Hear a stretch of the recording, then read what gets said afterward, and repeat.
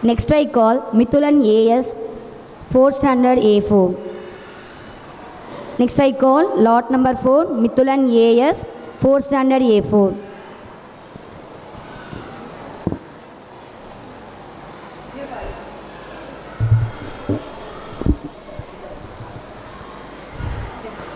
The Lion and the Hearty Dog.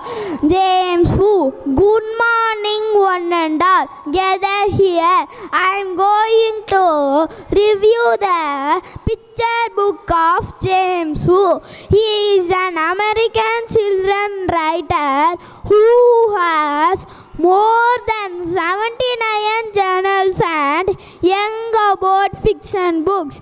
He best known for the Bunnicula series about a vampire rabbit. At the age of nine, he wrote a play-based comic strip as well as a variety of short stories and self-published newspaper.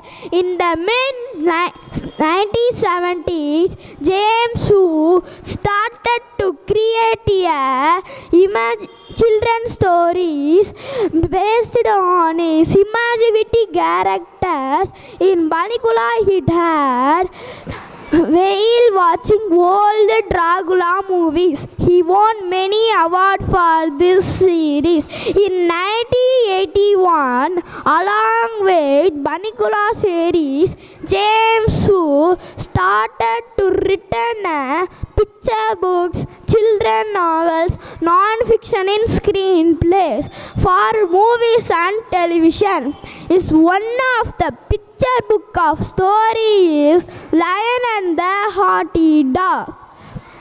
The thought James who explain a good lesson to the children and also adult. In the story, a dog thought himself and higher than all other farm animals, thought but barking. But one roar is powerful than the hundreds of barking, right?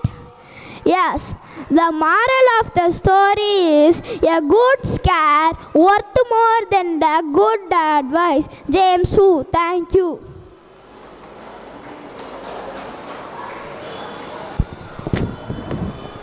Well done, Mithulan.